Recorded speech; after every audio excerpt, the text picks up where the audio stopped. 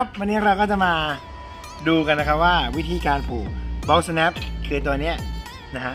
ที่เหมาะสมบนสายต่างๆ สายเกจสาย regulator เราจะผูกกันยังไง ให้มัน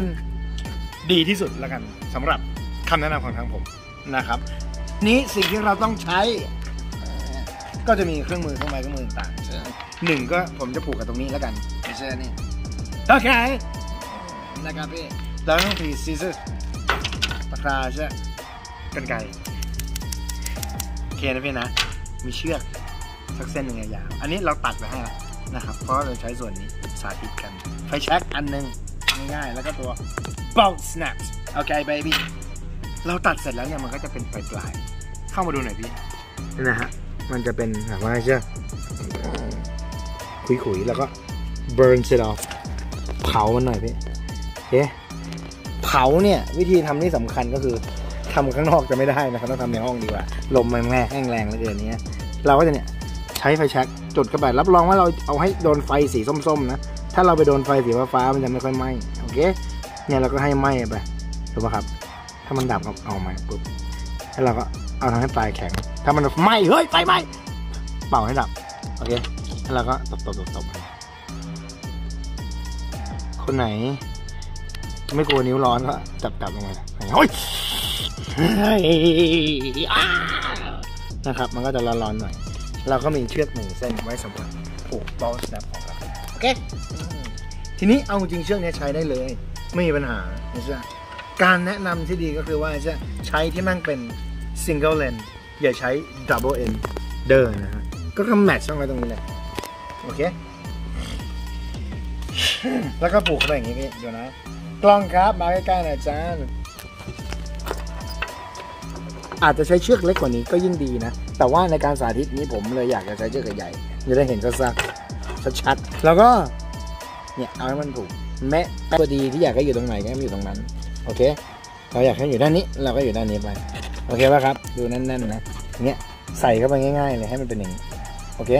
ปลายนี้เนี่ยระดับที่เท่ากัน โอเค พอเราผูกมาด้านนี้เราก็ดึงกลับมาด้านนี้ใหม่ถูกไหมครับ ให้มันแน่นกว่าเดิมแล้วล็อกอยู่กับที่ไม่เป็นไหนแล้วก็ยกเข้าไปให้อยู่ข้างใต้ใช่ไหมปึ้งปึ้งอย่าลืมนะครับว่าหลาย ๆ ท่านอาจจะมีวิธีแตกต่างกันไป แต่ก็ผมใช้วิธีนี้ไม่เคยหลุดอะ โอเคป่ะก็สุดแล้วแต่ เพราะเราก็ผูกไปใช่ไหมพี่ มัดปลายปึ้งโอเค จริงๆอะบางคนเสียดายเชือก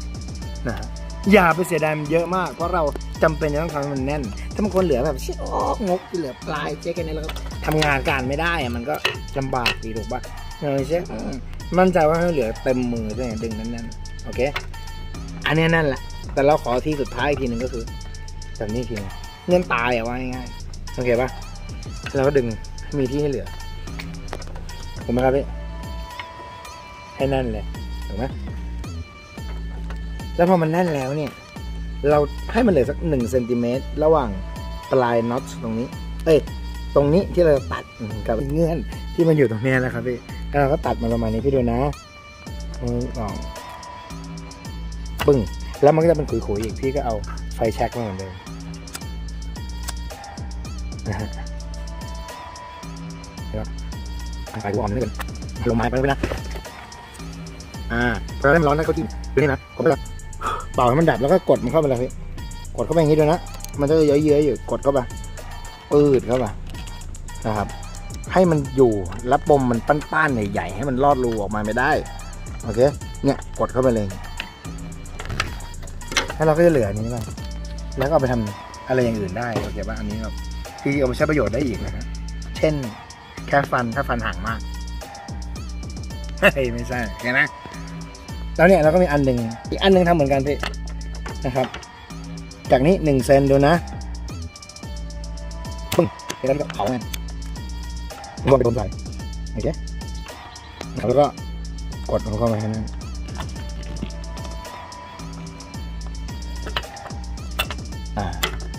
มันก็จะแข็งแข็งๆร้อนๆอย่างเงี้ย เห็นป่าว่าตรงนี้มันอาจจะ ดู loose ดูแบบไม่แน่นนิดนึงตรงนี้ใช่ไหม